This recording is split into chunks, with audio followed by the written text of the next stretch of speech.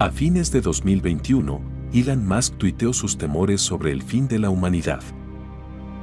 Deberíamos estar mucho más preocupados por el colapso de la población.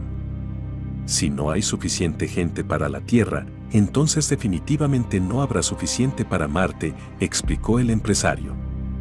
Las declaraciones de Musk trajeron la caída de la tasa de natalidad en mundo al frente del debate público. Durante casi un siglo, las tasas de fertilidad han ido disminuyendo a nivel mundial. El resultado es lo que los científicos describen como una crisis mundial de infertilidad. Pero hay una solución en el horizonte, acaban de diseñar una fábrica de úteros artificiales.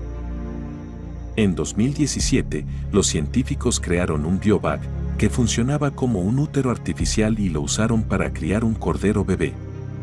Ahora, se ha presentado un nuevo concepto que muestra cómo se podría hacer lo mismo con los humanos. En imágenes publicadas recientemente, Hashem al muestra cómo podría ser el parto en un futuro muy cercano. Específicamente, creó una instalación de matriz artificial llamada Ectolife. En una entrevista exclusiva con Science and Stuff, al dice que cree que el concepto Ectolife algún día podría suplantar el nacimiento tradicional.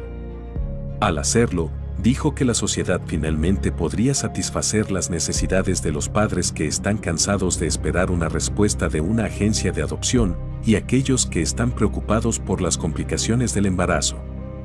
Pero lo más importante, dice que Ectolife podría permitirnos enfrentar la crisis de infertilidad de frente.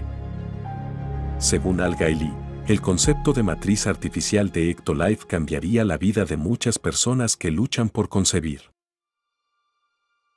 Es una solución perfecta para las mujeres a las que se les ha extirpado el útero quirúrgicamente debido al cáncer u otras complicaciones. También podría ayudar a resolver los problemas que surgen del bajo conteo de espermatozoides, dijo Al Gaili con entusiasmo, y agregó que el concepto Ectolife o tecnologías similares podrían finalmente hacer que el aborto espontáneo sea cosa del pasado.